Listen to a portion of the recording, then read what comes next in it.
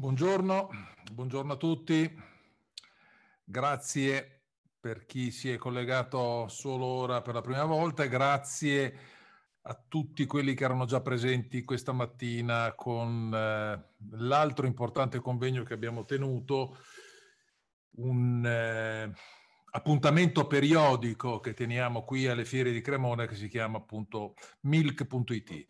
E oggi pomeriggio la volta di un altro appuntamento periodico che noi eh, da, vorrei dire, almeno 18 anni teniamo regolarmente alle fiere di Cremona ed è, è l'appuntamento Quali Services, i nuovi sistemi di certificazione della qualità.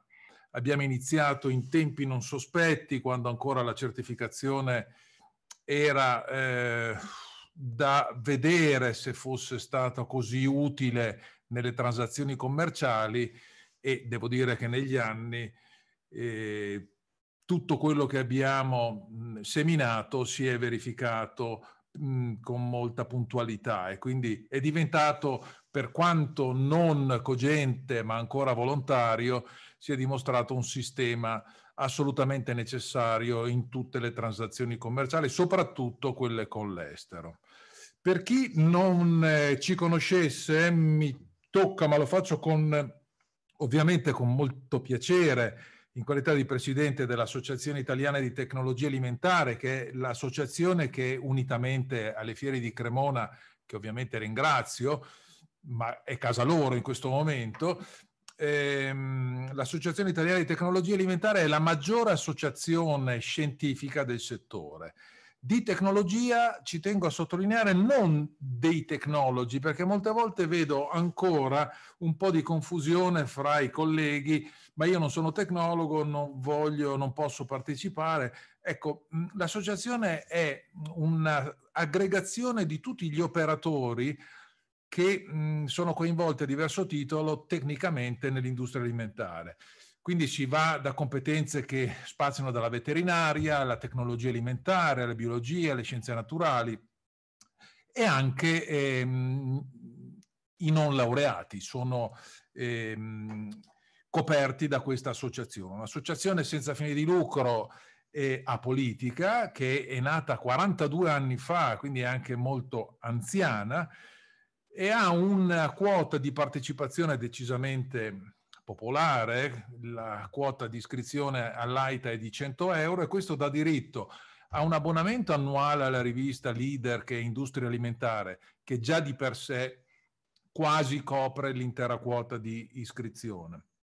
Oltre alla ricezione delle nostre periodiche newsletter, per periodiche intendo almeno 3-4 per settimana, eh, la partecipazione gratuitamente ai nostri webinar, e alla partecipazione con quote mh, privilegiate ai nostri corsi di formazione. Ecco, direi che per la quota di iscrizione questo non è poco e quindi siete invitati a fare un giro al sito www.aita-nazionale.it per se volete iscrivervi già online con carte di credito o con PayPal e comunque informarvi su, sulla nostra associazione. L'attività dell'associazione si è convertita necessariamente da marzo, come potete immaginare, in modalità online e questo ha generato un ampio successo sia da parte nostra che da parte dell'utenza per i vantaggi reciproci legati da una parte eh, alla mh, snellezza con cui questi, una volta sistemato la parte hardware e telematica, oramai i sistemi sono molto stabili, noi ci siamo dotati di un sistema fra i più stabili, quindi possiamo eh, adottare questi, questo sistema di eh, convegnistica con un numero molto elevato di persone contemporaneamente, registrarle e fare quello che solitamente noi eravamo abituati a fare in presenza, anche se torneremo in presenza, ma manterremo questa forma da remoto. Per l'utenza questo si è rivelato un sistema molto vantaggioso per gli evidenti risparmi di risorse sia finanziarie che di tempo e quindi continueremo anche eh, questa modalità. Oh, questo mh, mm, convegno Quali Services E, come vi dicevo, da tanti anni noi lo teniamo sempre alle fiere di Cremona, lo replichiamo qualche volta in altre sedi e, ed è l'appuntamento di aggiornamento per queste tematiche. E di solito, anzi sempre, apre il convegno Accredia, che è l'ente appunto eh, che accredita e che certifica gli enti di certificazioni, quindi è un po' sopra le parti. Dopodiché ci tengo a dirlo questo perché è importante, la sequenza, quindi l'ordine dei relatori, viene di volta in volta generato da un algoritmo che abbiamo dovuto eh, generare per evitare che appunto i diversi partner enti di certificazione si trovassero una volta in una posizione, una volta in un'altra e che questo sembrasse legato all'importanza specifica del relatore. Ecco, ci tengo a dire tutto questo invece è assolutamente casuale, quindi l'importanza è esattamente la stessa fra tutti i relatori. Ringrazio gli enti di certificazione che partecipano, CSQ Agro, Qualità e Kiwa e ovviamente Accredia che apre, come vi dicevo, il convegno. E, um, un ultimo um, un'ultima segnalazione, se avete al termine di ciascun intervento eh, necessità di domande o di chiarimenti, le potete fare via chat, io poi le rivolgo e le riporto ai singoli relatori. Vedo già pronta la prima relatrice, che è la dottoressa Stefania Scevola, appunto di Accredia, a cui cedo la parola per il primo intervento, che è la verifica da remoto. Eh, ovviamente tutte le aziende eh, hanno avuto questa necessità di eh, legati appunto alla certificazione di passare in modalità remoto anche per la parte ispettiva e questo in qualche caso ha generato dubbi e richieste particolari. Di questo parlerà appunto la dottoressa Scevola, la verifica da remoto da necessità a opportunità per garantire l'affidabilità delle certificazioni accreditate. accreditate scusate. A te la parola Stefania. Buongiorno a tutti, eh, ringrazio per la parola e proprio perché apriamo questa, mm, proprio perché sono la prima relatrice di questa sessione pomeridiana, vorrei trattare di un argomento trasversale e che ha segnato moltissimo uh, la realtà lavorativa, oltre che personale, di tutti noi da marzo, dal 24 febbraio ad oggi e probabilmente diciamo rimarrà con noi anche per il futuro. Sto parlando appunto delle verifiche da remoto. Verifiche da remoto da necessità e opportunità per garantire l'affidabilità delle certificazioni accreditate. Um, prima di eh, iniziare a parlarvi di quello che è um, l'idea comune, quello che si è fatto attraverso l'audit in remoto, vorrei eh, spendere due parole per raccontarvi chi è Accredia per chi non lo conoscesse. Allora, Credia è l'ente italiano di accreditamento, è l'ente unico di accreditamento, eh, lavora su tutto il territorio nazionale ma anche all'estero, è costituito di tre sedi principali, sede legale a Roma e specializzata, si occupa dei laboratori di prova, la sede, il Dipartimento di Certificazione e Ispezione di Milano e il um, Dipartimento che si occupa dei laboratori di taratura a Torino. Accredia eh, ha, ehm, la sua principale attività è quella di attestare la competenza, l'indipendenza e l'imparzialità degli organismi di certificazione e dei laboratori di prova di taratura che a loro volta svolgono delle attività di valutazione della conformità nei confronti di varie aziende. Tutto questo in, in, um, in, in relazione a determinate norme o standard a tutela di imprese, istituzioni e consumatori. Accredia ha un ruolo super partes, come diceva il dottor Poretta prima, quindi eh, diciamo si colloca come vertice di una piramide di controlli in modo da andare a effettuare le proprie valutazioni in assenza di conflitto di interessi. Eh, opera inoltre senza scopo di lucro e ehm, agisce sotto la vigilanza del Ministero dello Sviluppo Economico. Tra i soci di Accredia ci sono infatti tutti i ministeri. Um, Accredia non agisce come ente solitario, ma eh, si colloca all'interno di un complesso network, sempre di enti di accreditamento, che eh, sia a livello europeo che internazionale si sono dotati di mh, dei gruppi di eh, lavoro, chiamiamoli così. A livello europeo c'è EA, European Cooperation for Accreditation eh, a cui afferiscono tutti gli organismi di, tutti gli enti di accreditamento europei. A livello internazionale c'è IAF, International Accreditation Forum, a cui afferiscono appunto eh, le varie regioni mondiali di accreditamento, quindi Europa, Asia, America, Africa e così via. Um, attraverso questa fitta collaborazione fra Accredia e le reti e i network europei e internazionali ehm, ci si organizza e ci si armonizza su problematiche ma anche situazioni di ordinarietà che possono essere ehm, condivise, eh, condivise e quindi applicate a livello nazionale. La questione Covid è stata infatti fortemente discussa con questi due interlocutori che sono stati estremamente estremamente attivi e hanno pubblicato molti documenti che sono stati utili a tutti i livelli per effettuare le attività di valutazione in remoto. Um, parto da Accredia. Cosa ha fatto Accredia in questo periodo di pandemia? Allora, la principale eh, preoccupazione di Accredia è stata quella di tutelare la salute di tutti, quindi sia a livello dei propri dipendenti che a livello di tutte le parti coinvolte nel sistema di controlli, organismi di certificazione, laboratori e aziende. Di fatto, mh, nel momento in cui non si poteva effettivamente effettuare l'attività di verifica, eh, ci sono, sono, state identificate delle soluzioni alternative per cercare di, um, eh, di, di contemplare tutte le difficoltà, ma assicurare la continuità del servizio.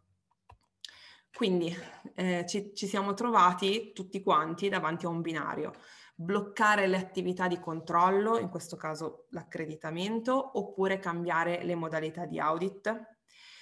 Si è deciso di cambiare, cambiamento che ha coinvolto tutti trasversalmente. Ripeto, noi non ci siamo mossi in maniera, um, in maniera isolata, abbiamo sempre lavorato insieme ai nostri cugini, colleghi europei e internazionali. Questo è l'elenco di tutti i documenti che sono stati pubblicati e sono applicabili eh, ad oggi ehm, per la gestione dell'emergenza e non solo, per la conduzione di tutte le attività fatte in remoto. Quindi abbiamo eh, lo IAF ID3, gestione degli eventi straordinari, che è un documento informativo in cui si parla appunto, mh, viene citata la pandemia lo IAF MD4, che è un documento mandatorio che eh, specifica le modalità con cui utilizzare le ICT, cioè le piattaforme di eh, comunicazione. Nel momento in cui si fa un audit in remoto, questo documento diventa mandatorio, deve essere utilizzato. IAF ID 12, che è un documento informativo riguardante i principi delle verifiche in remoto, per lo più per l'ente di accreditamento. Sono, c'è un documento specifico pubblicato in accordo fra IAF e il GFSI.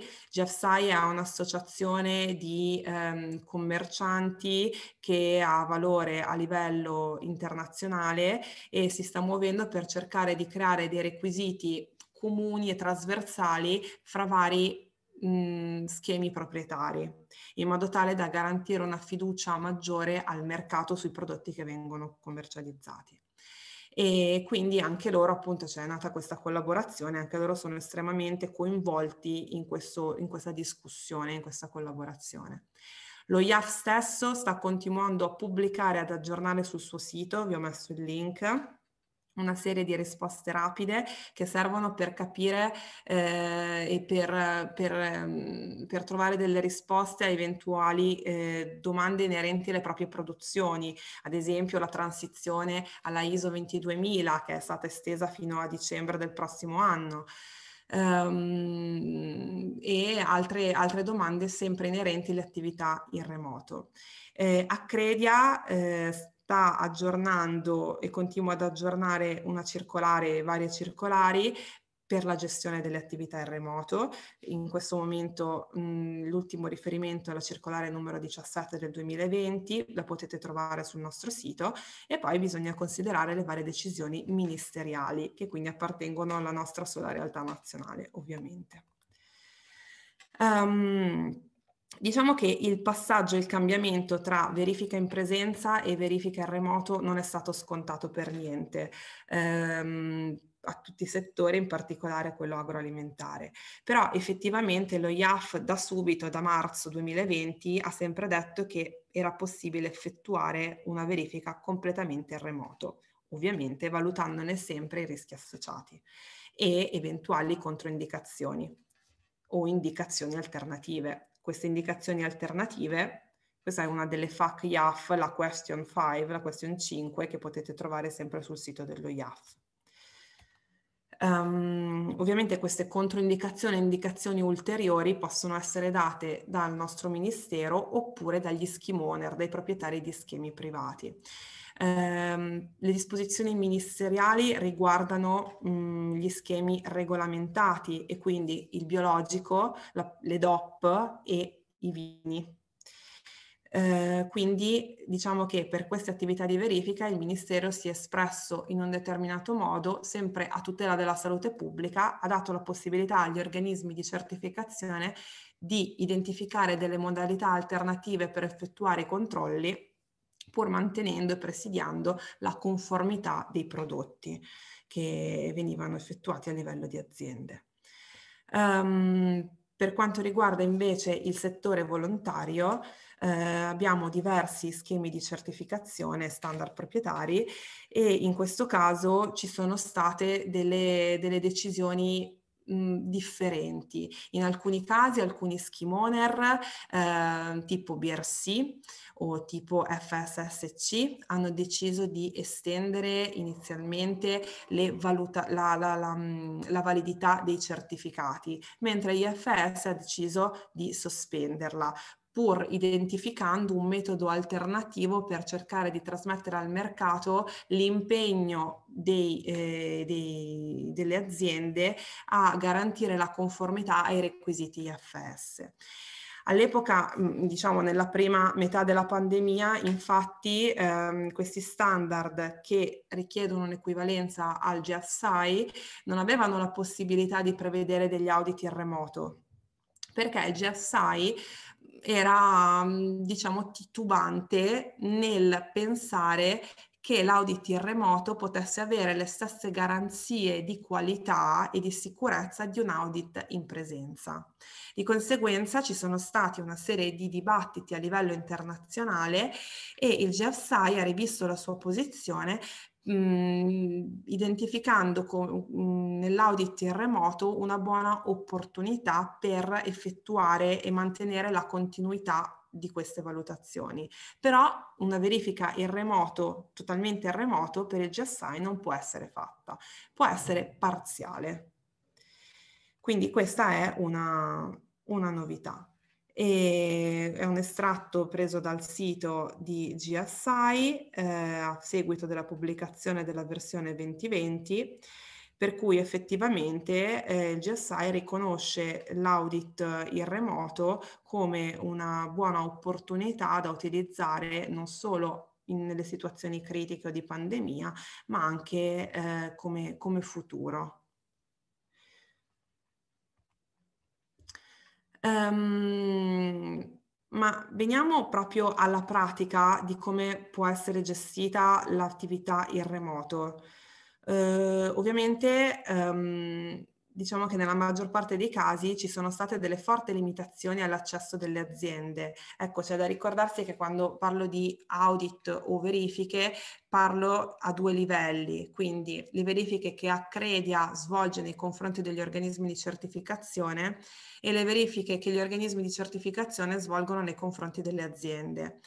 Eh, grandi limitazioni o comunque indicazioni forti mh, nei confronti dell'ente di accreditamento non ce ne sono. Ehm, le indicazioni che vi ho detto prima, inerenti appunto ministero e schemi proprietari, invece eh, riguardano per lo più questa seconda fase, quindi organismi di certificazione nei confronti delle aziende. Però in ogni caso ciò che è comune ad entrambi questi livelli sono l'analisi del rischio e l'analisi di fattibilità relative a una verifica. L'analisi del rischio perché? Perché bisogna valutare se l'azienda o se l'organismo di certificazione che eh, richiede questa valutazione è un iniziale, quindi non, non è conosciuto da parte di chi dovrà effettuare la verifica, oppure è conosciuto rispetto alla propria attività. Dipende dallo schema di... Perché, perché questo? Perché ovviamente se si conosce già la realtà dell'azienda, la realtà dell'organismo, è più um, semplice andare a identificare le situazioni di criticità o dare un giudizio complessivo più armonizzato eh, o comunque più reale, pardon.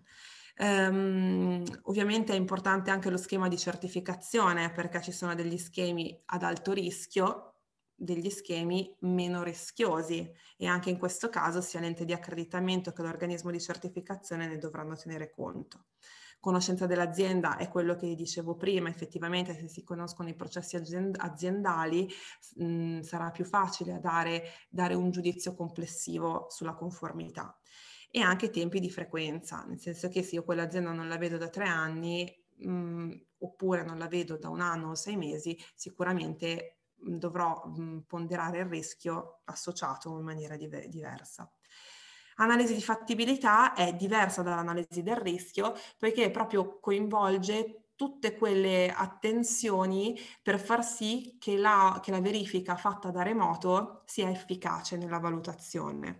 E quindi disponibilità di un'infrastruttura necessaria, ad esempio esiste un, un, computer, esiste un sistema per visualizzare le aree di produzione, che tipo di eh, supporto, eh, piattaforma viene utilizzata, se c'è una connessione internet adeguata, quindi tutta una serie di ehm, accorgimenti importanti per far sì che l'audit possa svolgersi in maniera completa eh, accessibilità delle registrazioni della documentazione, ovviamente se è cartacea la documentazione si farà più fatica, ci vorrà più tempo, se invece è tutto mh, telematico sarà sicuramente più veloce e se si è dotati di un computer e si può condividere lo schermo ancora meglio.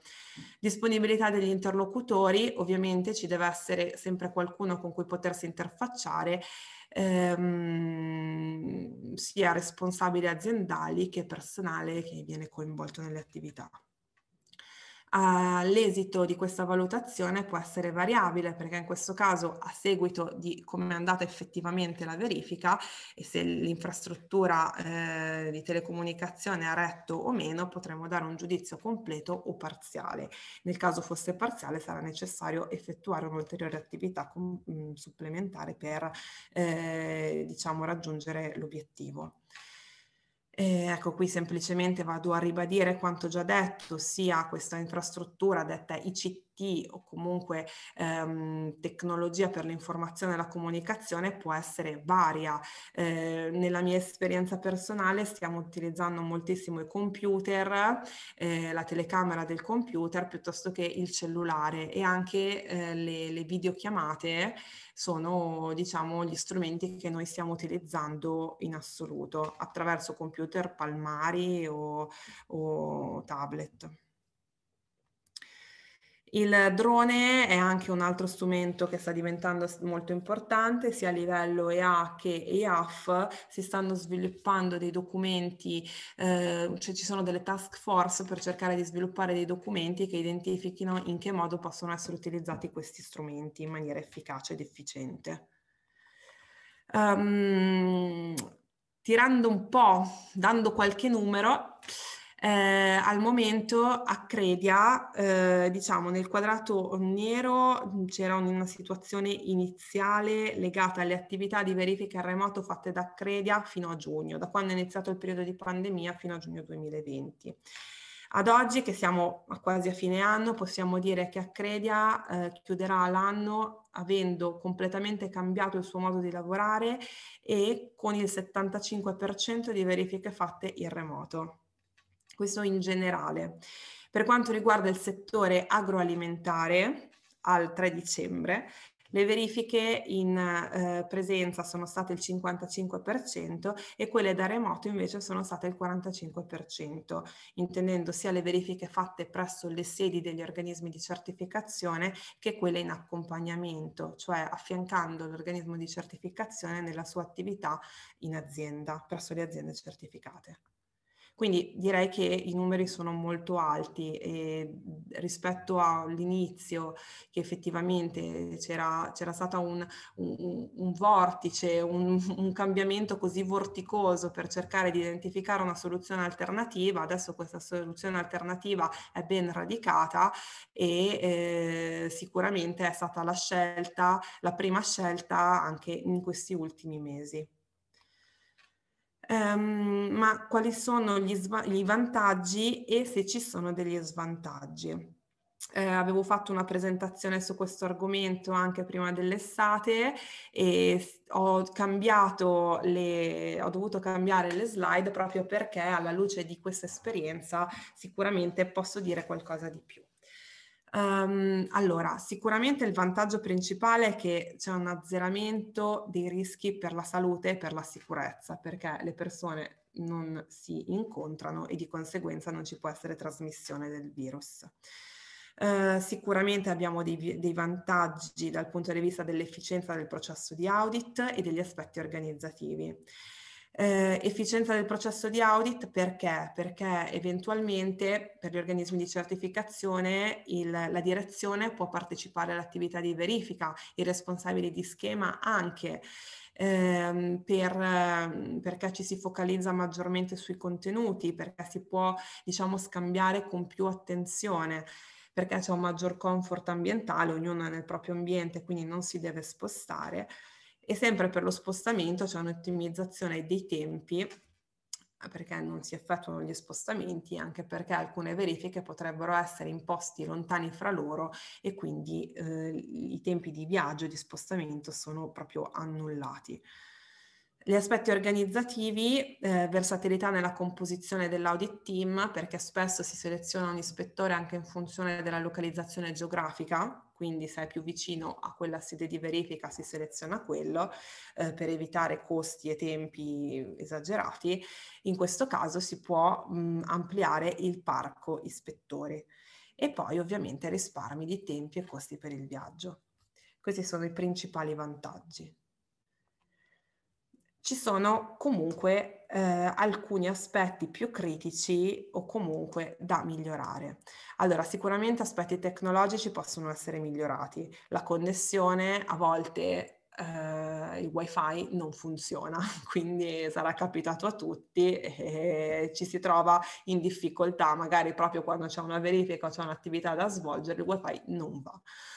Um, accessibilità delle informazioni, tutto deve essere caricato in formato digitale e se ci sono eh, dei documenti cartacei ci deve essere la possibilità di trasferirli comunque in formato digitale. Sicurezza delle informazioni, ehm, bisogna proteggere tutto con delle password e comunque sia anche a livello di Accredia, ma anche gli organismi di certificazione hanno sviluppato dei moduli da sottoscrivere per la sicurezza delle informazioni che vengono acquisite durante le attività di verifica. L'ambiente di lavoro non aziendale, ovviamente se si è a casa eh, ci possono essere delle intrusioni nella sfera privata. Io non ho figli, però effettivamente può capitare che ci sia una richiesta, eh, mamma mi porti questo, eh, piuttosto che eh, varie, varie eventualità che vi saranno sicuramente capitate se avete fatto delle attività in remoto. Um, visione degli ambienti in cui si svolgono le attività eh, dipende dalla disponibilità della tecnologia utilizzata, nel senso che bisogna cercare di utilizzare un ICT, uno strumento che permetta la visualizzazione di tutto il processo produttivo in una maniera quanto più ehm, precisa, quindi non ci devono essere delle aree che risultano oscure. Questo mi rendo conto che sia, ci rendiamo tutti conto che sia una criticità eh, o comunque un aspetto da dover presidiare molto bene. Invito tutti a trovare trovare delle alternative o delle strategie nella propria realtà per cercare di supportare questo aspetto e le relazioni interpersonali eh, che sono estremamente importanti poiché eh, la realtà è filtrata, manca la comunicazione non verbale. A me è sempre stato detto che la comunicazione è al 60%, 80% non verbale, adesso invece dobbiamo focalizzarci completamente su ciò che viene comunicato a voce perché eh, altri atteggiamenti eh, non possono essere, non possono essere percepiti. Um, il feedback che abbiamo avuto, uh, il maggior feedback è stato che tutte le attività in remoto sono molto impegnative, richiedono uno sforzo, una concentrazione molto maggiore rispetto alle attività fatte in presenza. Probabilmente perché non si riesce a fare uno scambio di altro tipo, piuttosto che non c'è neanche una pausa per dire uno scambio, ehm, non so, una pausa caffè o, o, altro, in questo caso non è possibile, quindi bisogna stare concentrati su un monitor per tante ore e questo risulta parecchio ehm, stancante. Però l'audit in remoto ormai è diventato parte della quotidianità, eh, quindi non si torna indietro sicuramente eh, si dovrà integrare anche in una futura realtà mh, normale, normalità. Eh, gli auditi in remoto quindi si stanno in, pensando non solo come alternativa per l'emergenza Covid-19, ma anche nel futuro. Uh, cosa c'è da fare? C'è tanto lavoro da fare. Prima di tutto le criticità di cui abbiamo parlato prima bisognerà presidiarle e trovare delle alternative e i vari standard, quindi gli schemi proprietari, ma anche i ministeri, anche noi come Accredi, gli organismi di certificazione dovranno modificare il loro approccio, recepire meglio, sempre meglio il nuovo metodo. Eh, ancora non siamo completamente, non abbiamo ancora mh, elaborato tutti i rischi e tutte le, le, le, perplessità che possono essere correlate a questo tipo di attività. Bisognerà modificare i contratti con i clienti e con gli ispettori, prevedendo anche questo tipo di attività remota. Bisogna capire come diminuire il rischio di allontanarsi troppo dal cliente, fino a rischiare di perderlo. Perché? Perché manca la relazione personale, che è importantissima. Um, come ho detto fin dall'inizio, IAF mh, sta organizzando, è attivissimo, sta organizzando una task force, eh, anzi la task force è già attiva, sta preparando un documento proprio per rispondere a queste domande che ci siamo appena fatti e per pianificare le attività future. Um, Accredia singolarmente a livello nazionale um, è d'accordo con ritenere le attività da remoto molto utili. Sicuramente nel momento in cui questo Covid andrà a sparire, um, si tornerà a una normalità, però le verifiche in remoto lasceranno il segno, perciò probabilmente si instaurerà un'alternativa che saranno le verifiche miste, parzialmente in remoto, parzialmente in presenza, bisognerà capire bene come regolamentarle. Sicuramente noi eh, a Credia siamo Stiamo lavorando da remoto dall'inizio della pandemia e ci incontriamo molto spesso in riunioni fatte in video, videoconferenza. Eh, sicuramente dovremo continuare a pubblicare delle linee guida, perciò vi invito a controllare il sito di Accredia, dopo ho messo una slide effettivamente per farvi vedere dove esattamente. Bisognerà definire meglio come gestire gli ispettori, quindi formazione e monitoraggio a distanza, eventuale qualifica eh, ex novo, eh, sempre attraverso gli audit in remoto e poi bisognerà approfondire meglio, dare delle indicazioni più chiare per, per quando effettuare l'audit in remoto, quando è il caso, quando assolutamente non è il caso. sempre per i due livelli, quindi verifiche fatte da Credi e verifiche fatte dagli organismi di certificazione prevedendo anche delle eventuali difficoltà, come ad esempio mh, se, se, si pensa alla distanza, sicuramente fare una verifica a distanza, una verifica in Cina, sicuramente si pensa che sia il top effettuare la verifica da remoto. Può essere vero, bisogna valutare la connessione. Ad esempio abbiamo avuto esperienza in Africa che prevedendo pure una verifica fatta in remoto, in realtà la connessione era molto debole, perciò la verifica non è stato possibile farla. Quindi valutare tutte queste variabili. Um, Accredia sempre per cercare di rispondere a questa esigenza di telematizzazione eh, ha previsto, eh, sta modificando i certificati di accreditamento e non li renderà più cartacei ma saranno telematici con un QR code e sarà possibile visualizzare da tutto il sistema, tutti le aziende, organismi di certificazione effettivamente usando il QR code sarà possibile verificare la veridicità del certificato di accreditamento. Um, questa invece è la pagina di Accredia su cui stiamo uh, aggiornando tutte le varie disposizioni che pubblichiamo, perciò vi invito a uh, tenerla sotto controllo. E con questa slide concludo. Mi piaceva l'idea dell'evoluzione della food safety, quindi dalla, dalla, scimmia fino a diventare Homo erectus per poi ripiegarsi di nuovo davanti a un computer. Um, diciamo che adesso siamo nella fase fra il penultimo omino e l'ultimo omino. Personalmente spero di ritornare bella eretta. E invece eh, la, l'altra foto di destra che fa vedere un drone che ha la forma di un cane.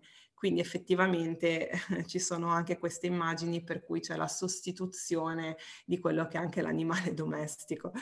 Um, sicuramente sono cose molto interessanti, sicuramente è il futuro, bisogna tenerne in considerazione e regolamentarlo, però non dimentichiamo il valore della relazione interpersonale. Vi ringrazio, ho finito. Grazie, grazie dottoressa Scevola. Grazie per eh, le, eh, le, slide, eh, quanto dibattuto.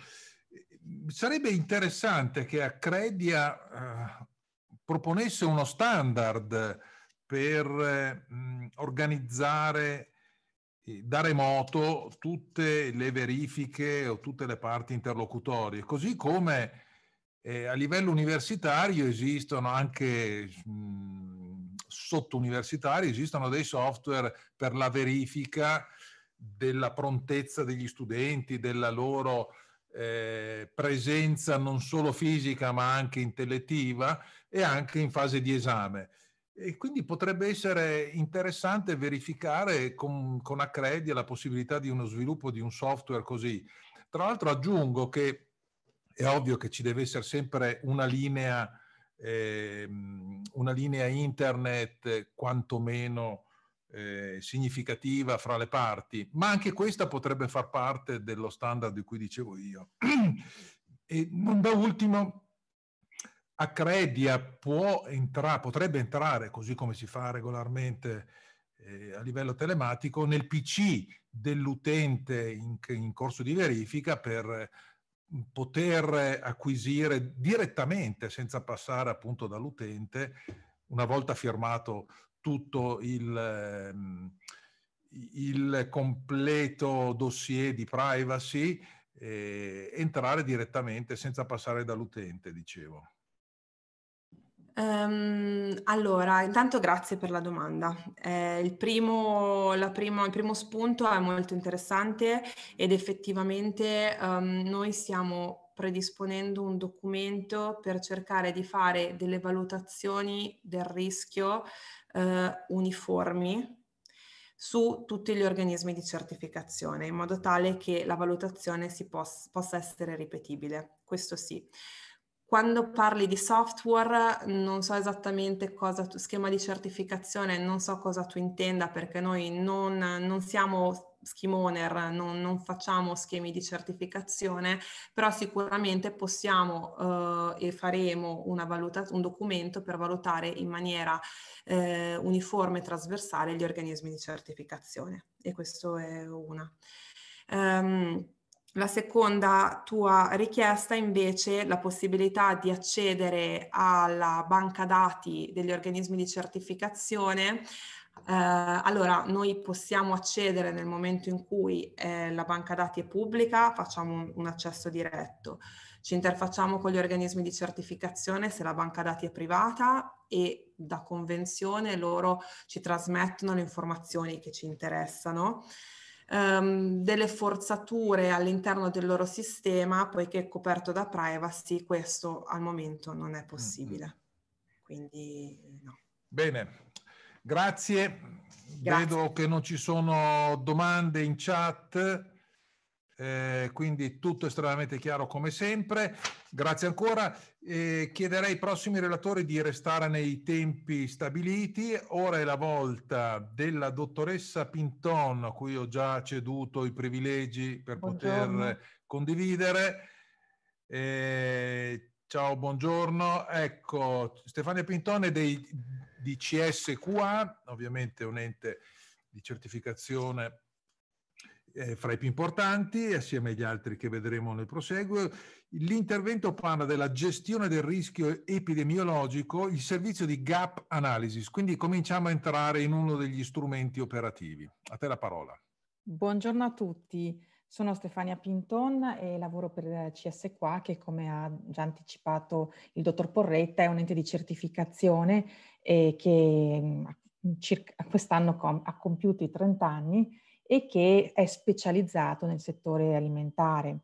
È stato praticamente il primo ente eh, accreditato nel settore food dall'allora Sincert, eh, oggi Accredia, è stato il primo ente ad essere riconosciuto nel, dal Ministero nelle certificazioni dei prodotti DOP IGP e eh, al, ad oggi è il primo ente per numero di prodotti controllati. Diciamo che eh, nel tempo la nostra eh, attività si è allargata e oltre al settore agroalimentare e, e near food, diciamo, abbiamo, ehm, ci occupiamo anche del settore legno e foreste, del settore informatico e del settore servizi alla persona e responsabilità sociale, che è il settore che eh, seguo più, in modo più diretto. Mm, la nostra attività si, ehm, si si esplica in attività di certificazione, di ispezione, di innovazione, cioè andiamo a creare standard nuovi do, laddove eh, intercettiamo una richiesta del mercato e di formazione soprattutto alle aziende. E lo standard che, eh, scusate, abbiamo sedi in tutta Italia e anche negli Stati Uniti e in Polonia. Lo standard che vi propongo oggi, l'attività che abbiamo messo a punto eh, a seguito della pandemia, è, fa, fa, proprio parte dell'attività di innovazione. Sostanzialmente eh, all'inizio a fine febbraio, primi di marzo, quando il, la vita di tutti noi è cambiata, eh, abbiamo ricevuto più input e abbiamo visto che eh, era tutto diverso, improvvisamente era tutto diverso nella nostra vita privata, nelle relazioni tra le persone e anche nel mondo del lavoro. Il, mh, mm, ci siamo focalizzati sul mondo del lavoro perché siamo un'azienda obiettivamente e ehm, abbiamo uh, cercato di parlare con uh, i nostri clienti, abbiamo talvolta stimolato il confronto, tal, talvolta siamo stati chiamati ad avere un, un confronto con loro perché sostanzialmente le imprese erano tirate, diciamo, da due necessità. Da un lato eh, la necessità di eh, dar continuità alla produzione, di continuare ad erogare il servizio.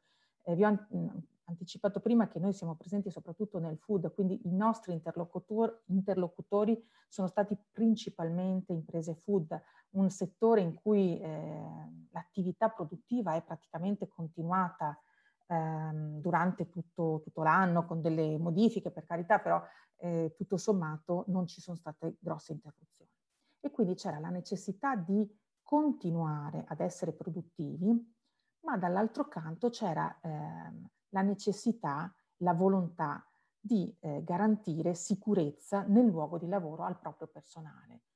E mh, vi posso garantire che questa era un'esigenza molto forte de, delle aziende, che mh, è venuta fuori proprio il loro, la, la, loro senso di responsabilità anche verso i dipendenti, non solo per obbligo di legge.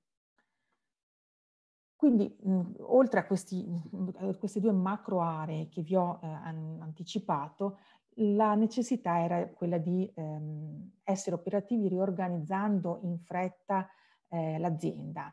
Eh, chi faceva servizi ha dovuto pensare alla modalità modalità alternative a distanza. Nelle produzioni sono state organizzate eh, squadre eh, te, che lavoravano in tempi separati, quindi si è riorganizzata completamente tutta l'azienda. E eh, a, a lato c'era comunque la necessità di gestire una mole di dati legati alla privacy e legati alla, alla persona. Tutti i dati sanitari inizialmente non si sapeva come gestirli, eh, che, che, dichiarazioni far compilare al, al, al personale, eh, come eh, tutelare comunque la privacy dell'eventuale ehm, dipendente eh, che risultasse positivo. E tutte queste mh, no, novità eh, e la necessità appunto di mettere in ordine queste tutte novità ehm, ha anche lo, lo, scopo di tutelare gli amministratori in ottica anche della 231. Allora, mh, ci siamo appunto, questo è un po' il panorama in cui ci siamo trovati a, a parlare con le aziende e chiedevano a noi di essere partner nel trovare una soluzione di, di tutto questo uh, uh, stato di confusione, di, aiutare, di, aiutarli a fare ordine.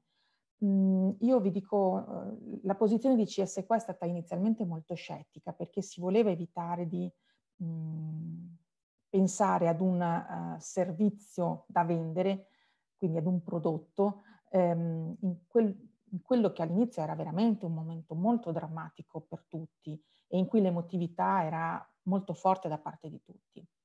E, ehm, successivamente, eh, razionalizzando un pochino, abbiamo convenuto sul fatto che potevamo effettivamente offrire uno o più strumenti eh, alle organizzazioni per aiutarli in questo momento di difficoltà a fare ordine, a mh, strutturarsi e a eh, rispondere ehm, alle, alle, richieste mh, del momento. E quindi abbiamo pensato ad un servizio di gap analysis. Eh, per chi non è addetto ai lavori, la gap analysis è eh, sostanzialmente una valutazione a fronte spesso di eh, una uh, checklist che va proprio a vedere cosa c'è già in azienda e cosa manca al fine di essere eh, conformi eh, ad una determinata mh, regola, che può essere una, determin- una determinata um, richiesta cogente oppure una norma, mh, una norma internazionale. Quindi il nostro, la nostro uh, lavoro è stato quello di mettere a punto delle checklist specifiche che ehm, eh, guidassero le organizzazioni a capire il loro stato, a mh, eh, valutare come eh, potevano migliorare la, le loro performance. L'obiettivo è sempre stato quello di aiutare le organizzazioni a migliorarsi, a colmare le lacune mettendole in luce. Quali sono appunto nello specifico gli obiettivi di qualsiasi gap analysis? Sono quelle di identificare il proprio livello di conformità rispetto ad una norma cogente o non cogente di riferimento. Mm, è anche quella di ricevere una valutazione rispetto alla, all'adeguatezza e all'efficienza dei codici di condotta che ci si è dati, una valutazione da parte di ehm, auditor eh, con un profilo adeguato a valutare determinati aspetti. Inoltre la gap analysis ha come obiettivo quello di identificare come eh, l'organizzazione si colloca rispetto al, al tema, ok? Per capire proprio mh, qual è lo stato eh, di, di conformità, cosa manca, per capire quali interventi, quali azioni mettere in atto per eh, gestire le eh, eventuali non conformità. Il nostro lavoro si è strutturato sostanzialmente mettendo ehm, in piedi quattro pilastri della gestione del rischio. Abbiamo focalizzato l'attenzione su quattro macro aree. La prima eh, legata alla salute e sicurezza nei luoghi di lavoro, la seconda legata alla pulizia e sanificazione, la terza eh, legata alla continuità operativa e la quarta legata alla sicurezza delle informazioni e alla protezione dei dati.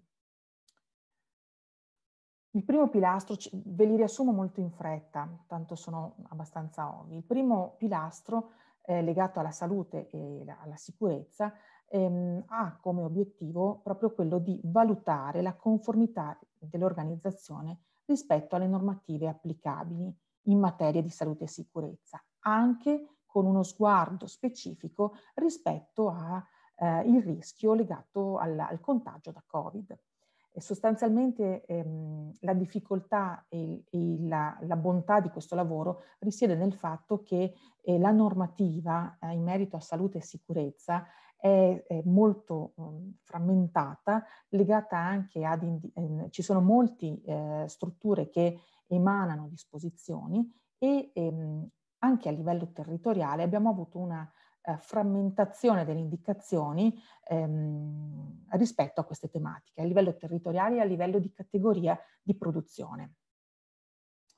Le eh, aree di indagine che abbiamo individuato sono eh, sostanzialmente quelle elencate in questa slide e nella successiva e sono proprio ehm, ehm, legate alla, al, processo e all'ingresso del, del, lavoratore in azienda, alla pulizia in modo mh, mm, abbastanza generico rispetto al secondo pilastro, precau alle precauzioni igieniche e alle, alle distanze alla gestione degli spazi comuni, l'organizzazione dell'azienda, quindi come sono stati organizzati i turni e come, stata, come, sono state le indicazioni che sono state date in merito alle trasferte, allo smart working ehm, e alle, la gestione di eventuali casi di personale sintomatico. Il secondo pilastro che abbiamo invece individuato è quello legato ai servizi di pulizia e sanificazione ambientale. E questo pilastro è stato sviluppato in modo più corposo, nel senso che abbiamo anche ehm, eh, redatto un documento privato di proprietà di CS eh, utile alla certificazione, ma l'abbiamo strutturato anche come servizio di, di gap analysis. E, um, questo um, pilastro affronta proprio il tema di come effettuare le operazioni di pulizia e sanificazione degli ambienti. E, Inizialmente è stato pensato per le strutture che accolgono utenti, okay? quindi soprattutto per le, le strutture che offrono servizi. Mm, si pensi alle scuole, agli alberghi, agli ristoranti, ma poi il suo sviluppo è stato anche eh, rispetto a eh, imprese di produzione che comunque devono gestire ambienti che eh, sono utilizzati in modo comunitario dai propri dipendenti. Eh, I punti chiave eh, che abbiamo individuato sono eh, legati alla definizione e all'attuazione della pulizia, che è la rimozione dello sporco visibile, ma anche della sanificazione ambientale, che è cioè l'abbattimento della carica batterica e dei virus. E abbiamo poi focalizzato l'attenzione sull'adozione di prodotti specifici, eh, prodotti che vanno bene e prodotti che non vanno bene per la pulizia, e ehm, a, a, alla definizione di mh, procedure in grado di standardizzare le attività di pulizia per assicurare un'efficacia della stessa ripetibile e verificata. E verifica, verificata come? Attraverso eh, dei tamponi, quindi attraverso delle analisi di laboratorio che vadano a cercare non solo il Covid, ma anche eh, altre tipologie di indicatori del grado di pulizia. Come vi ho detto, eh, vi ho anticipato, questa attività si rivolge sia alle imprese che eh, sono imprese di pulizia, quindi che hanno come loro, il loro core business l'erogazione di servizi di pulizia, ma anche alle imprese eh, che in qualche maniera eh, effettuano le pulizie mh, in proprio. pensiamo mh, alle, alle, palestre talvolta, ai bar, eh, alla, ai piccoli negozianti. Mhmm, I principi ehm, chiave sono la valutazione del rischio biologico, ossia ci aspettiamo di trovare una valutazione ehm, della, eh, del rischio, mh, di, della probabilità di trovare contaminanti sulle eh, superfici dure, sui ehm, bocchettoni di areazione dell'aria e anche nella fornitura idrica. L'altro livello e l'altra richiesta che facciamo è l'adozione di un codice di comportamento, ossia di andare ad individuare le buone prassi di igiene sia per chi, ehm, per chi pulisce sia per chi utilizza degli spazi eh, comunitari. E poi altro elemento molto importante è la comunicazione costante del livello di rischio ehm, presente in un determinato ambiente a tutte le persone che utilizzano l'ambiente. Il terzo pilastro su cui abbiamo eh, creato una checklist è legato alla continuità operativa. Ci siamo basati sostanzialmente sulla norma ISO 22301, che è specifica per la business continuity e che eh, consente sostanzialmente all'organizzazione di dotarsi di strumenti di prevenzione e di ehm, resilienza, diciamo, eh, in, grado da, ehm, in, grado di ehm, affrontare e rispondere in modo ehm, tempestivo agli imprevisti. Ehm, il quarto pilastro invece è stato focalizzato sulla sicurezza delle informazioni e sulla protezione dei dati, proprio perché durante ehm, questa fase emergenziale le aziende si sono spesso trovate a gestire eh, dati ehm, delicati legati a, proprio alla salute dei propri dipendenti. Il risultato della gap analysis, no, come avete immaginato, non è un certificato, ma è una fotografia, un report eh, che ehm, caratterizza le eh, aree di forza dell'organizzazione e le aree eh, di eh, debolezza dove c'è ancora da eh, lavorare. Ehm, un'organizzazione può scegliere eh, quale ehm, pilastro ehm, sia il più critico per la propria realtà e scegliere di eh, farsi, diciamo, fotografare solamente per determinate tematiche e non su tutte è sicuramente una base di partenza utile per eh, capire quali interventi eh, mettere in atto per mh, migliorare e per, per dare una, una, priorità agli interventi necessari. E dal punto di vista pratico ehm, segnalo che ehm, al, le aziende che finora hanno scelto questo, questo servizio l'hanno fatto in parte per, su richiesta eh, del loro cliente, ok? E in altri casi ehm, in quanto eh, partecipando a bandi eh, emanati da pubbliche amministrazioni hanno utilizzato questi report per dare dimostrazione del eh, lavoro svolto mh, sulla gestione di questo rischio epidemiologico. Al momento io ho finito, se c'è qualche domanda sono a disposizione. Grazie, molte grazie Stefania per eh, la delucidazione e anche per il tono, veramente un tono molto relax. Complimenti anche per come l'hai esposta. Ho dimenticato di dirvi, o forse ve l'ho detto e non lo ricordo io, che nelle prossime settimane riceverete una newsletter dedicata questo seminario, così come gli altri, quello di oggi e quello di domani che segnalo alle 10, meet.it, saranno resi disponibili anche on demand, per cui se volete rivederli o eh, salvarli per qualsiasi vostro eh, delucidazione, ecco qua, vediamo, grazie, vorrei chiedere come CS Vorrei chiedere se come se qua verrà previsto un corso di formazione sugli audit di remoto. Vabbè, questo ve lo chiedete poi in separata sede, non è questa la sede opportuna per promuovere attività. Bene, allora, grazie ancora eh, Stefania Pinton di CSQA e ora la volta del dottor Alessandro Gullo di Agroqualità, eh, già Rina, eh, a cui ho già ceduto la possibilità di condividere le slide. Quindi buongiorno. Lo, buongiorno a lei, dottore. Il dottor Gullo ci tratterà, quindi credo eh, che mh, forse, me lo auguro, eh, e sarà fuori dalla pandemia per un attimo e ci parlerà dell'efficacia delle certificazioni volontarie di prodotto e il loro contributo a uno sviluppo sostenibile. Quindi il, il tema qua è più sulla sostenibilità. Verifichiamolo. A lei la parola, dottor Gullo. Grazie, grazie, grazie professor Porretta e buongiorno a tutti. Anzitutto ringrazio per, per l'invito a questo importante momento di incontro e informazione. E, ehm, io mi chiamo Alessandro Gullo, sono responsabile commerciale di Agroqualità, società del gruppo RINA, eh, che opera a livello globale eh, come ODC, specificatamente eh, nel settore agroalimentare, erogando sostanzialmente tutti i servizi di certificazione eh, specifici per il food, ma chiaramente anche servizi di certificazione trasversali. Questo contesto eh, argomenteremo appunto, come anticipato dal professore, eh, alcuni eh, temi eh, riferendoci eh, all'efficacia delle certificazioni volontarie di prodotto in ottica appunto di sostenibilità eh, e al contributo che possono avere per uno sviluppo, per uno sviluppo sostenibile.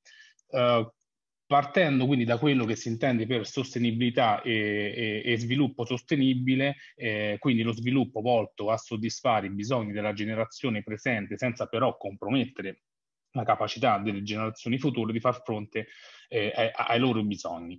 Eh, basandosi questo sul modello che l'Unione Europea eh, ha presentato, quindi il modello dei tre pilastri della sostenibilità, declinandoli eh, in economico, ambientale e sociale si, si, è passato quindi soprattutto negli ultimi anni eh, a identificare il concetto quindi di sostenibilità eh, come un bisogno reale e, e, e, e necessario. Uh, sì, per cui si passa da un sarebbe auspicabile eh, avere a un dobbiamo avere, dobbiamo impegnarci ad avere.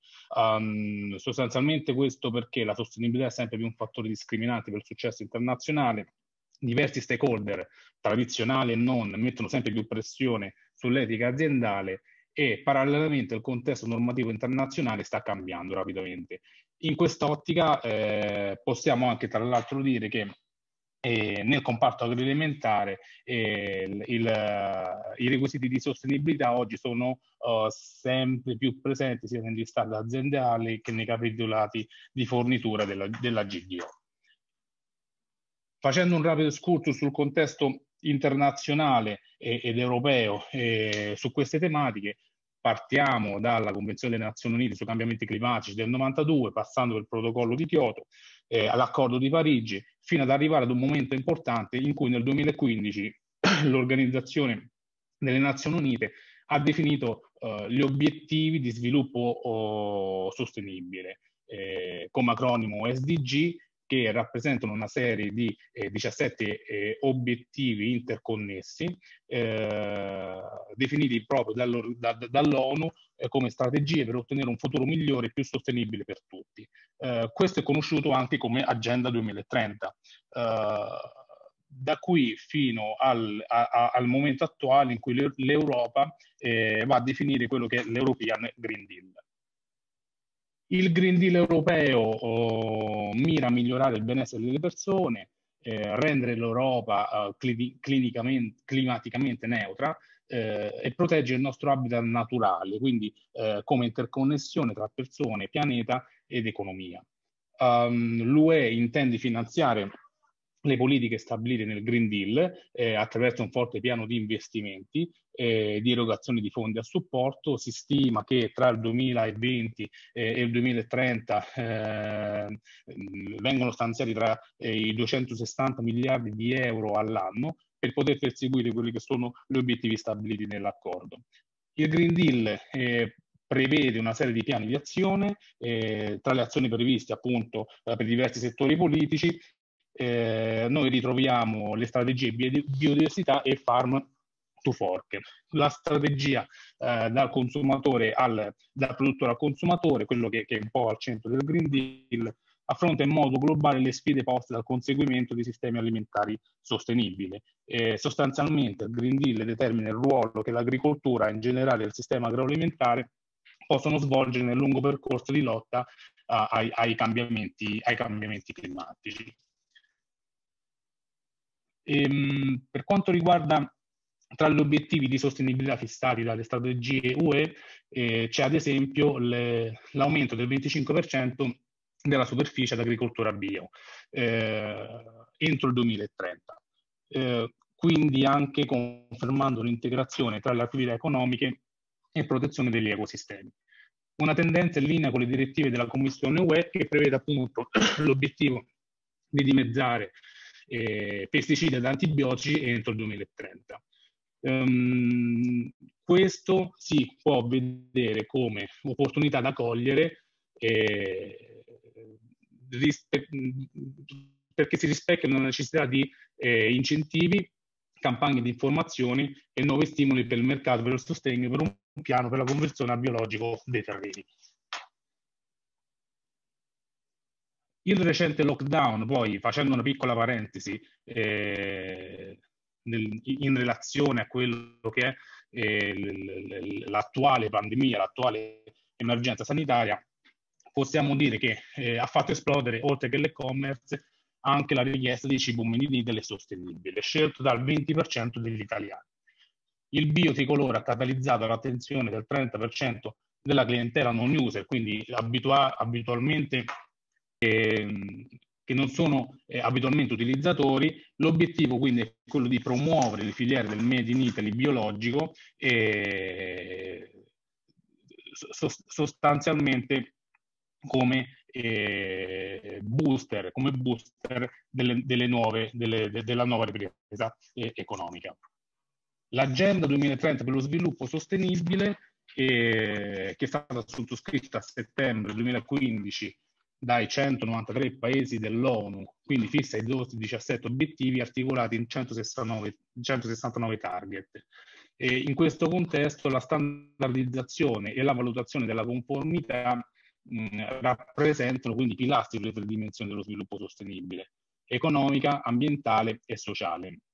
Le imprese sono sempre quindi più chiamate a dare evidenza del loro impegno al raggiungimento degli obiettivi e questo oh, mezzo, il mezzo a, questo perseguimento può essere rappresentato proprio dagli standard dei sistemi di certificazione che sono i metodi più rilevanti a diffondere le pratiche sostenibili, trasformare eh, i, i, settori di business, strumenti che le imprese adottano per contribuire alla realizzazione degli obiettivi di sviluppo e dando evidenza degli, dando evidenza degli stessi. Qui si apre il mondo delle certificazioni. Ad oggi eh, realmente non esiste uno standard certificabile che racchiuda eh, i criteri di sostenibilità nel complesso, quindi ambientale, eh, etica ed economica.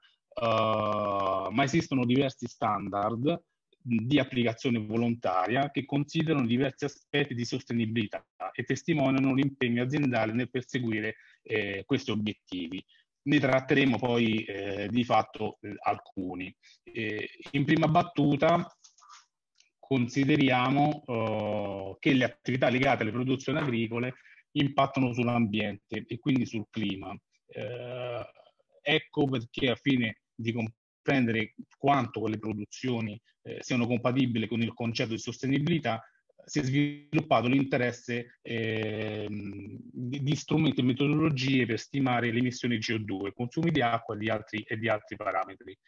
Parliamo sostanzialmente di impatto ambientale, quindi di impatto che hanno oh, le varie attività anche antropiche eh, sull'ambiente per valutare, per valutare eh, gli impatti che si, eh, che, che si, hanno, si effettuano studi di life cycle assessment, quindi di LCA, eh, per i quali tra l'altro l'EISO ha predisposto la norma tecnica 14040 che è stata entrata in vigore nel 2006. Sostanzialmente l'LCA è un procedimento oggettivo di valutazione degli impatti energetici ed ambientali eh, relativi a un prodotto, a un processo o ad un'attività. Uh, questa valutazione eh, include l'intero ciclo di vita del prodotto, eh, comprendendo l'estrazione, il trattamento delle materie prime, la fabbricazione, il trasporto, la distribuzione, l'uso, il riuso, il riciclo e lo smaltimento, e lo smaltimento finale. Principalmente carbon e water footprint, questi piedini che vediamo, insomma, rappresentano quelle che sono le, le, le impronte ambientali. Eh, dalla necessità quindi di eh, stimare l'impatto uh, che si ha eh, sulla, su, su, uh, che un prodotto o un servizio può avere su uno o più componenti durante il ciclo di vita, nascono appunto le impronte, le impronte ambientali. Uh, le prime impronte ambientali che si sono sviluppate eh, per valutare eh, a livello globale la significatività di, di impatto che hanno eh, sono state proprio la carbon footprint e la water footprint, quindi l'impronta di carbonio e, la, e, e, e l'impronta d'acqua. L'impronta di carbonio perché diversi alimenti chiaramente contribuiscono in modo diverso uh, in funzione dei quantitativi eh, consumati, delle modalità di coltivazione o di allevamento, all'eventuale lavorazione eventuale lavorazione al riscaldamento oh, globale. Per quanto riguarda invece l'impronta d'acqua, è, è perché il consumo di acqua è calcolato in tutte le fasi della produzione, dagli alimenti stessi, dalla loro origine fino all'arrivo sulle nostre tavole, quindi agricoltura, trasformazione, industria e, e, e, così via. Eh, per valutare la carbon footprint eh, di, un, di, un, prodotto è stata sviluppata la norma tecnica, la 14067, eh, requisiti e linee guida per la quantificazione e comunicazione in vigore dal 2014. Questa è, è un'etichetta volontaria, eh, sostanzialmente è il modo di comunicare quello che è l'impegno aziendale eh, in riferimento a quello che è l'impatto che ha il suo processo prodotto eh, in, in, in, per, un, per, un, per, una produzione. qui si fa l'esempio insomma, del, del, di, di, un bicchiere di vino uh, dove si comunica che per una bottiglia di vino, quindi per, per produrre 750 ml di vino, si è avuto eh, un'impronta di 2 eh, kg di CO2 immesso. L'impronta di acqua invece rappresenta il quantitativo di acqua dolce eh, da parte di un singolo, di una comunità, di un'azienda utilizzato inquinato. Eh, il calcolo prevede tre fasi, quindi la quantificazione e localizzazione dell'impronta idrica di un prodotto, di un processo in un determinato periodo, la valutazione della sostenibilità ambientale, sociale ed economica eh, dell'impronta idrica e l'individuazione delle strategie di riduzione della stessa. Come si calcola? Eh, per calcolare la water footprint è necessario tener conto di tre tipologie di risorsa idrica, eh, acque superficiali, eh, quindi green water footprint, le acque superficiali sotterranee prelevate per produrre un bene o un servizio, Uh, le acque meteoriche, soprattutto in relazione all'uso irriguo, insomma, eh, in particolare si fa riferimento a quello, e la green water footprint, cioè l'acqua inquinata, estimate come quantitativo di acqua necessario a diluire gli inquinanti eh, fino a un determinato limite previsto. Eh, è un indicatore abbastanza complesso che comunque dà evidenza di quello che è anche l'attività eh, antropica sulla, su, sulla risorsa idrica.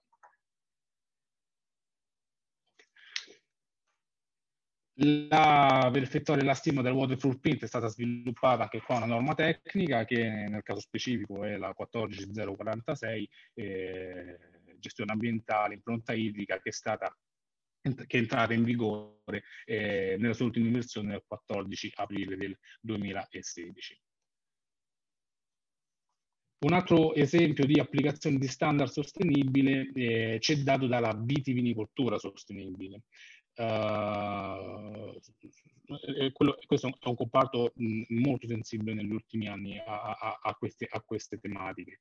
E un Viva, che questo che qua vediamo è un progetto del Ministero dell'Ambiente eh, che nasce con lo scopo di misurare e migliorare le performance di sostenibilità della filiera vite e, vite e vino, Uh, lo standard detta delle linee guide e dei requisiti eh, da rispettare, quindi le aziende grazie all'individuazione uh, di quattro indicatori principali, quindi area, acqua, territorio e vigneto, eh, hanno la possibilità di effettuare un'autovalutazione dell'impatto della loro produzione eh, in termini chiaramente di, di sostenibilità ambientale.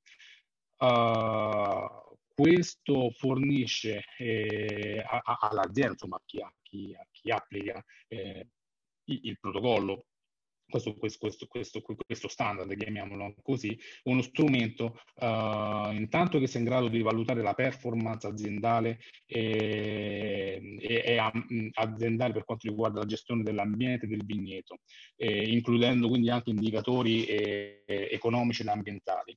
Eh, d'altra parte fornisce, può, fornisce, al consumatore uno strumento per attuare eh, un acquisto eh, consapevole verso quei prodotti realizzati da aziende attente alle loro performance in termini, in termini di, di, di, ambiente.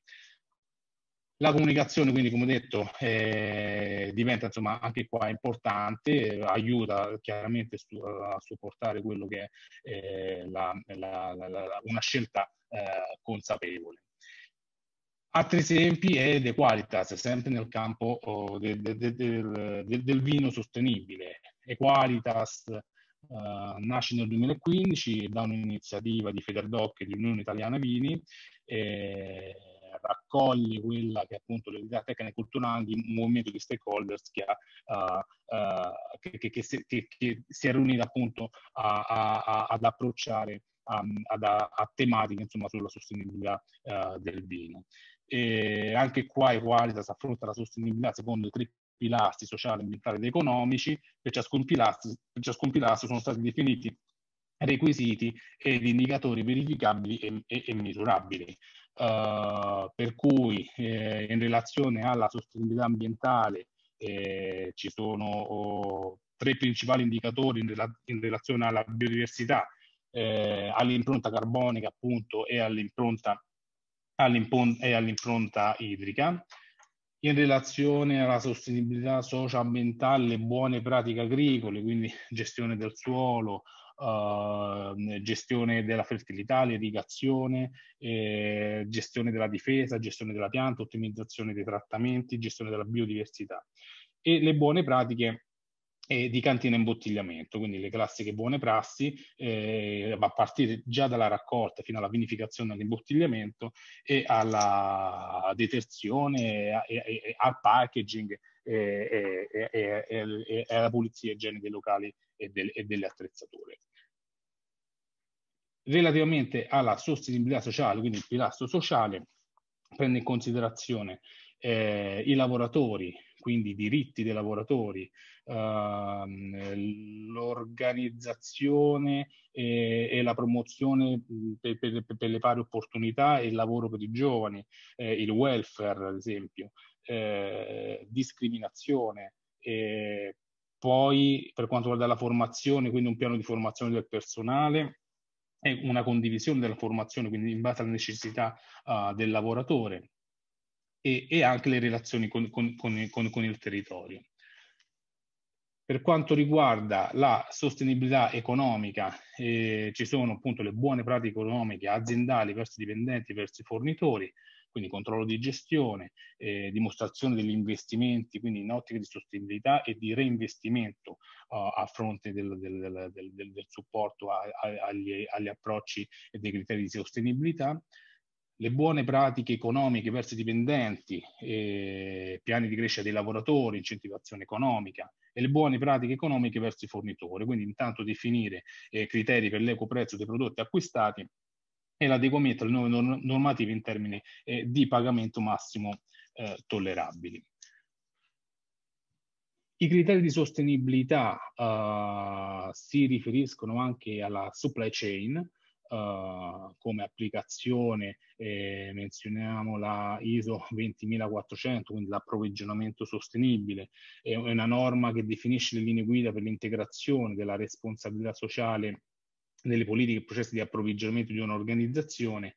È una norma particolarmente indicata per gestire ad esempio i rischi Uh, legati ai processi di approvvigionamento delocalizzati e, e l'outsourcing, uh, ad esempio un esempio pratico insomma, che è operato da Rina uh, nella filiera del mango, si è applicato appunto i, i, i, protocolli relativi alla, all'approvvigionamento sostenibile dove sono stati coinvolti anche dei fornitori dello Sri Lanka eh, in base alla eh, invece in ottica di responsabilità sociale la ISO 26000 eh, quindi guida alla, società, alla responsabilità sociale eh, questa integrazione nei, nei, nei, processi aziendali eh, nella propria organizzazione appunto può essere quindi di, re, di, reale supporto a quelli che sono gli obiettivi di, uh, di, di sostenibilità. Da ultimo menzionerei quelli che sono gli, gli eventuali disciplinari tecnici eh, di prodotto. Uh, sono disciplinari volontari con obiettivi di caratterizzazione del prodotto agroalimentare in relazione ad approcci e modalità e tecniche di produzione sostenibili. Uh, qui sono menzionati tre, insomma, eh, tre, tre, tre, tre, argomentazioni che sono comunque di, di, di, che, che, riprendono queste, queste tematiche, residuo zero, senza antibiotici, eh, nickel tested, Residuo zero, ad esempio, è l'applicazione eh, di, di, un disciplinare a residuo zero, armonizza l'utilizzo eh, consapevole minimo di fitofarmici, le tecniche di produzione integrata, eh, quindi stabilisce i requisiti per l'ottenimento eh, di un prodotto oh, con un abbattimento del 100% di quello che è il residuo massimo ammissibile ehm, rispetto alla normativa, alla normativa cogente di riferimento.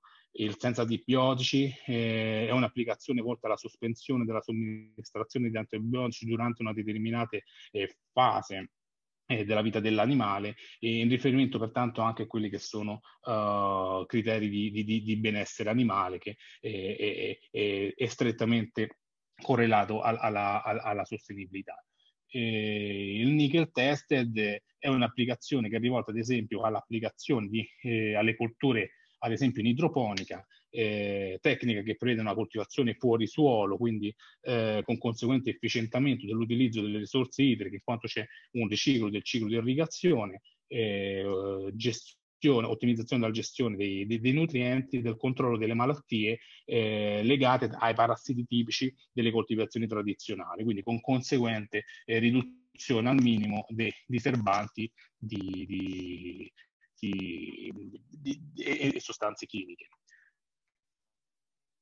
Andando a concludere, ecco, mh, mm, a fronte di una tematica così complessa, così importante, eh, l'implementazione appunto di standard di sostenibilità comporta numerosi eh, benefici per le imprese, quindi per i prodotti commercializzati, eh, sicuramente elemento di comunicazione diretta al consumatore che è sempre più sensibile a, a, alle tematiche ambientali e di sostenibilità, eh, quindi in grado di contribuire alla scelta consapevole e responsabile dell'acquisto. Chiaramente l'applicazione eh, di, di, protocolli volti al, al, al, raggiungimento di questi determinati eh, obiettivi di natura ambientale e sostenibile eh, rientra negli obiettivi di politica ambientale appunto fissati dall'UE eh, e comunque dalle altre organizzazioni in ambito internazionale. Questo va di pari passo chiaramente anche alla valorizzazione aziendale dei prodotti ottenuti. La certificazione eh, consente, come tutti diciamo, sistemi sani di, di, certificazione, di fissare obiettivi di miglioramento nel tempo eh, che contribuiscono in questo caso, eh, oltre all'efficienza ambientale, anche quella economica derivante appunto dalla razionalizzazione dei processi produttivi adottati, si può eh, applicare eh, più, più mh, fortemente il concetto di trasparenza e tracciabilità quindi certificazioni credibili e tracciabili eh, con relativa comunicazione delle informazioni di sostenibilità pub- al pubblico, eh, questo anche attraverso le, le di nuove tecnologie come blockchain e comunque digitalizzazione che, eh, che, che ne, ne, nei prossimi anni sicuramente insomma, eh, la, la, farà da... Uh, avrà un ruolo sempre, sempre più, più importante, sempre più, più attore principale. E, chiaramente va da sé che ehm, questo impegno eh, porrà una maggiore facilitazione all'accesso ai mercati che, che, richiedono determinati requisiti, quindi GDO e internazionali. Questa era la ultima slide. Grazie, grazie dottor Gullo. Eh, devo solamente dirti che la tua linea internet ci ha fatto stare sempre molto sul chi va là, sembrava dovesse lasciarci da un momento all'altro, e invece ha retto. Eh, infatti mi dispiace, mi dispiace no, nessun problema. Abbiamo, abbiamo, capito lenta. tutto e ascoltato tutto con estremo piacere. E, ehm, sento sempre più spesso dire il consumatore è maturo e sensibile a tematiche di sostenibilità. Eh, si, come voi certamente sapete e saprete, eh, lo è senz'altro. Eh, andate a vedere pur tutte le statistiche, purché il prezzo di vendita non venga modificato di nulla, perché non è disposto a, nessuna, eh, a nessun punto percentuale a favore di elementi extra eh, prodotto, cioè sostenibilità, economia circolare, tutto quanto. Quindi va molto bene, il, consumatore lo è sensibile, ma attenzione a non modificare il prezzo di vendita, cosa che spesso invece è richiesta se si vogliono adottare determinate eh, considerazioni. Mm, volevo vedere se ci sono altri interventi? Eh, no, da chat non c'è nulla. Molto bene, grazie dottor Gullo, grazie dell'intervento. Grazie, grazie Alla prossima, grazie mille. E ora la volta grazie. della dottoressa Cettineo o Cettineo, non so dove vada l'accento onestamente, dovrebbe essere la penultima, quindi Cettineo. Cettineo, buona prima. Ecco, e infatti, vabbè. No, in italiano è sempre sulla penultima l'accento, però nel suo caso non è così. Eh, la dottoressa Silvia Cettinio di Kiwa Cermet Italia, altra azienda leader nel settore della certificazione, ci parla, mh, mm, ci fa un intervento eh, altrettanto interessante, nuovi servizi certificativi in ambito salubrità degli alimenti. Certamente saprete che ultimamente eh, c'è stata una esplosione, una variegata diffusione di servizi legati anche al Covid, ma anche alla disinfestazione ambientale e cose analoghe. Ma ripeto, soprattutto, io so che non ne parlerà volutamente in modo diretto la dottoressa perché non fa parte dei loro compiti, ma lo dico io lo stesso. E così e queste aziende, anziché disinfestare, si, molte volte si sono eh, resi loro parassite proprio in virtù del, del momento eh, delicato e quindi ci sono tantissime aziende che stanno proponendo servizi, peraltro nemmeno ehm, adottati dal Ministero della Salute e, e comunque ehm, resi mh, fattibili dal Ministero della Salute, ma questo è lo stesso, ovviamente cavalcando il momento eh, delicato, si stanno proponendo. Eh, vediamo invece di cosa si parla in questo intervento da, parle, da parte di Kiwa Cermet Italia. A lei la parola. Grazie dottor Porretta, la ringrazio anche per l'invito perché è praticamente la, la prima possibilità di presentare al pubblico il nostro nuovo servizio. Io sono Silvia Settigno, sono l'account manager di, di Kiwa Italia per quanto riguarda tutte le certificazioni sistema delle professioni. E, ehm, Ah, ringrazio anche l'algoritmo che ha, mi ha permesso di ascoltare gli interventi del, dei colleghi precedenti, perché alla fine, vedrete, siamo tutti allineati sul fatto che questa pandemia comunque ha segnato in questo momento, siamo nella storia e come un qualsiasi momento storico, eh, diciamo, il momento storico caratterizza generalmente sempre delle dei nuovi mercati, delle, de, diciamo, della nuova normalità. E quindi in questo momento eh, come, come ente di certificazione ci siamo messi nella, nella, eh, così, nella, nella riflessione di cercare di individuare nuovi servizi quindi innovare, quando ci sono delle difficoltà si cerca sempre di innovare, se siamo arrivati ad oggi perché si è sempre innovato nella storia e nuove pre- professionalità. Eh, due parole su chi è Kiva, ma due parole giusto perché non voglio rubare altro tempo. Siamo un organismo di certificazione internazionale, siamo presenti nel mondo eh, in più di 40 paesi, quindi siamo, ci occupiamo di testing, ispezione e certificazione. Allora, innanzitutto perché eh, Kiva ha pensato a questo servizio, come dicevo, perché di fronte a una pandemia eh, generalmente mh, è d'obbligo cercare di trovare nuovi servizi, è d'obbligo cercare di trovare nuove professionalità, perché? Perché sicuramente, l'ho sentito dire anche dai colleghi precedenti, sicuramente andremo incontro a una nuova normalità. Quanto nuova lo capiremo vivendo, però la, ci sarà qualche cosa che cambierà.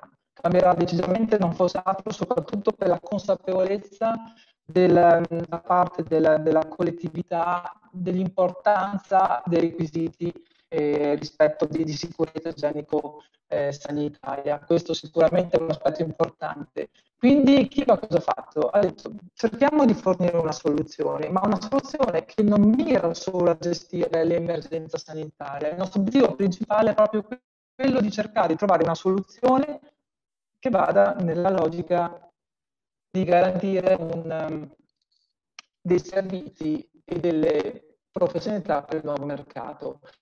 Mm, bene, la, la, la, da dove siamo partiti? Siamo partiti soprattutto dal fatto di metterci dalla parte dei fruitori degli ambienti. No? Oggi gli ambienti sono sicuramente eh, molto, molto diciamo, sono, sono, sono, le realtà in cui generalmente oggi eh, i fruitori rivestono molta attenzione per capire, soprattutto in questo momento di emergenza sanitaria, eh, il fatto della salubrità, se sono ambienti che riescono a garantire la salubrità a chi poi appunto a chi mh, presenterà, a chi eh, frequenterà quegli ambienti. Quindi siamo messi da questo punto di vista. Ma noi siamo i consumatori bene. Che cosa si aspetta un consumatore? Che cosa si aspetta un fruitore di un ambiente? Si aspetta di avere la possibilità di scegliere degli ambienti in modo sicuro, in modo eh, trasparente, con credibilità.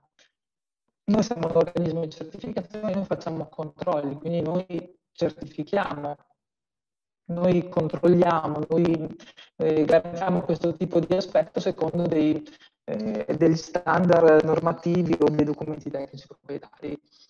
Bene, da una parte abbiamo pensato a questo, questo aspetto, dall'altra parte abbiamo detto che dobbiamo offrire assolutamente alle realtà che, virtuose di differenziarsi nel mercato, soprattutto quando veramente sono virtuose nell'ambito del rispetto dei requisiti di sicurezza igienico-sanitario. E di realtà virtuose ce ne sono molte, ma spesso non hanno la possibilità di differenziarsi in modo oggettivo e credibile e soprattutto cerchiamo di definire delle, degli strumenti che permettono di garantire in modo mh, garantire e mantenere nel tempo eh, ambienti salubri per, per il fruitore appunto di questi ambienti. Diciamo che alla base di tutti questi obiettivi c'è l'obiettivo principale proprio quello di cercare di sensibilizzare la cultura della prevenzione unitamente alla cultura del monitoraggio. Eh, sono gli aspetti fondamentali per veramente rendere efficace qualsiasi tipo di intervento. Se non c'è prevenzione non c'è controllo, l'efficacia non sarà mai garantita. In questo, in questo con queste premesse, con questa considerazione, ehm, abbiamo sviluppato ehm, due schemi di certificazione, uno nell'ambito diciamo, della certificazione di servizio processo e prodotto, l'altro nell'ambito della certificazione delle professioni. Mm, appunto abbiamo sviluppato due servizi di certificazione, un servizio mh, mm, di certificazione legato a certificazione di processo di servizio, ehm, dal titolo Certificazione del servizio integrato di prevenzione delle contaminazioni di tipo biologico, chimico e fisico finalizzato alla salubrità degli ambienti e un altro servizio di certificazione della professione nell'ambito del manager per la salubrità. Abbiamo detto all'inizio eh, che era fondamentale creare appunto nuovi servizi innovando e soprattutto nuove competenze e nuove professionalità. Ehm, com'è che abbiamo sviluppato questi servizi? Perché non li abbiamo sviluppati come un protocollo Kiwa, li abbiamo sviluppati eh, ovviamente eh, rispettando eh, le metodologie imposte dalle, da delle norme internazionali nello sviluppo di certificazioni, di schemi di certificazione proprietari. La norma di riferimento, do dei numeri, adesso non mi voglio focalizzare su questi aspetti, ma la norma fondamentale è 17065, che è la norma che regola le certificazioni di prodotto, servizio e processo e dice chiaramente che laddove ehm, non è possibile eh, che un ente di certificazione può emettere anche un certificato in coerenza a documenti emessi da enti normatori o da schemi proprietari. L'importante è che questi schemi proprietari siano siano, eh, siano, sviluppati in coerenza con le norme che vedete indicate, ossia la 17067, la 17007 e per quanto riguarda le professioni la 17024. Quindi questo schema di certificazione è stato creato in coerenza a livello metodologico ehm, nel rispetto di queste norme. Un aspetto molto importante che, come, come ho detto prima, il documento principale, che è il documento di certificazione di, eh, del servizio di prevenzione integrato, è un documento nella quale ci sono molti requisiti di tipo biologico, chimico e fisico, quindi di, di tipo scientifico.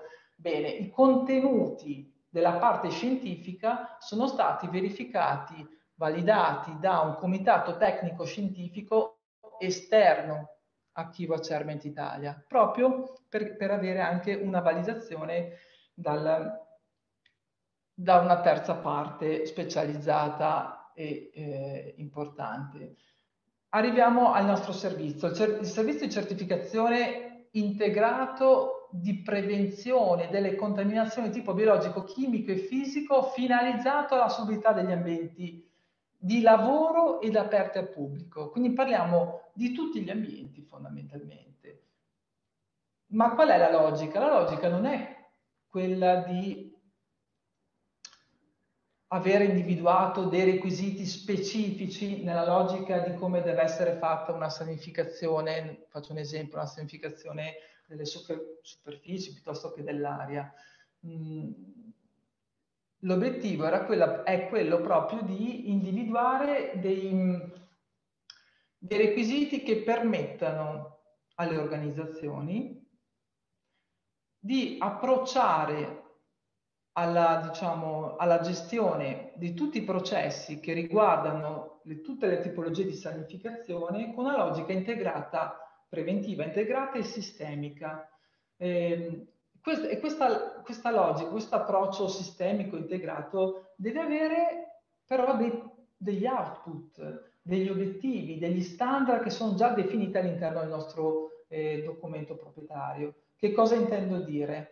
Quello che noi riteniamo è che mh, la cosa che è fondamentale oggi è veramente avere una capacità eh, di programmazione, di coordinamento e di monitoraggio eh, gestita con una logica sistemica, eh, ma soprattutto avendo un parametro di riferimento, cioè tutte le attività di tipo tecnico della sanificazione che vengono fatte o dai fornitori specializzati devono essere coordinate, gestite verso l'obiettivo finale che deve essere condiviso.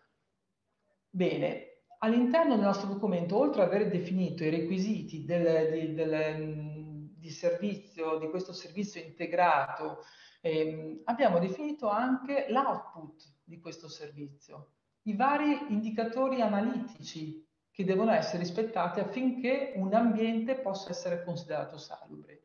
Kiva non ha inventato, non ha sviluppato niente perché ha recepito tutti gli indicatori che la scienza definisce come indicatori di salubrità degli ambienti. Vedrete la logica con cui abbiamo sviluppato questo, questo, questo schema di certificazione cercando di rendere oggettivabile qualsiasi tipo di valutazione. A chi si rivolge questo standard? Si rivolge a tutte le aziende, a tutte le realtà, che siano pubbliche e private, e a tutti gli ambienti di queste realtà, ad eccezione degli ospedali e delle case di cura. Quindi gli ambienti, gli ambienti è l'aspetto, diciamo, è l'obiettivo finale affinché eh, di des- destinatario di questo, di questo schema. Mm, però gli ambienti, come ho detto, sono tutti. E come abbiamo fatto a definire per ogni ambiente dei parametri eh, di tipo biologico, chimico e fisico abbiamo alla fine creato quattro classi di ambienti. Abbiamo creato quattro classi di ambienti in quanto abbiamo considerato gli ambienti esposti ad un rischio da contaminazione. Quindi l'ambiente, fondamentalmente, viene individuato a seconda dell'esposizione al rischio. E questo rischio viene calcolato in base a una formula, prestazione in permanenza per assembramento. Quindi alla fine sono stati, per, in riferimento a, a questi quattro, rischi, quattro, quattro, classi di ambienti, sono state definite eh, una serie di indicatori, di parametri tipo biologico, chimico e fisico, il cui raggiungimento garantisce il fatto che quell'ambiente è salubre da un punto di vista biologico, chimico e fisico. Bene, io andrei oltre, questo lo, lo, lo, discuto alla fine.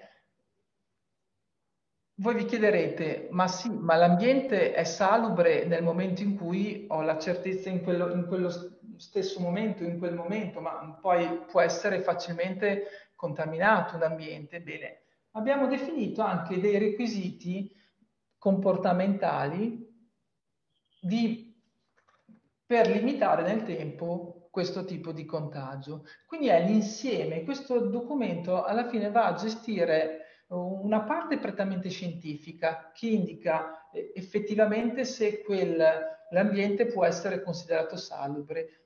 Contemporaneamente sono stati definiti dei requisiti che possano garantire il mantenimento del tempo di questo, di questo ambiente, la, della salubrità di questo ambiente non è semplice da, mh, da spiegare, necessiterebbe sicuramente di, di più tempo.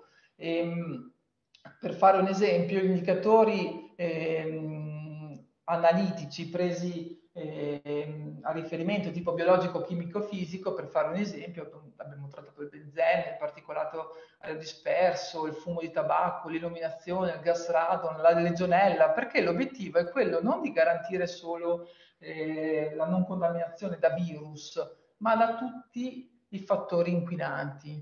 Quindi tutti, ogni ambiente ha un suo parametro di riferimento a seconda del, appunto, del fattore del, dell'indicatore inquinante. Per poter garantire nel tempo la salubrità di un ambiente, l'aspetto veramente ritengo innovativo è il fatto di avere ehm, individuato dei requisiti specifici e molto ehm, eh, adeguati alla tipologia di ambiente che si oggetto di certificazione, dei requisiti che riguardano i controlli interni che l'organizzazione deve garantire. Mi spiego, ed è l'aspetto più innovativo.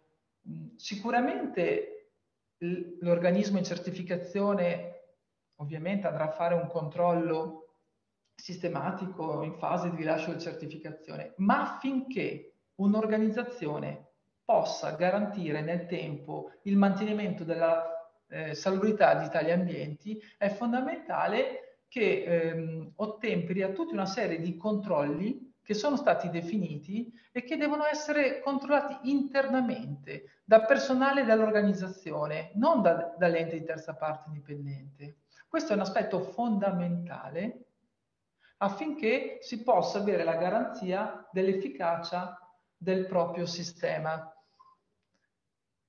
Ovviamente questi controlli sono mh, trasmessi e controllati da Kiwa tramite anche un sistema di blockchain, di, quindi una tracciabilità di tutti i controlli che permette anzi eh, di accedere anche dall'esterno, quindi il, diciamo, il fruitore dell'ambiente può accedere eh, per verificare se l'organizzazione continua a mantenere nel tempo questi controlli, ma è un aspetto molto importante per due motivi. Uno, perché oggettivamente ehm, obbliga le organizzazioni a, a, monitorare nel tempo con delle frequenze molto, molto strette e sono frequenze adeguate all'esposizione al rischio del singolo ambiente.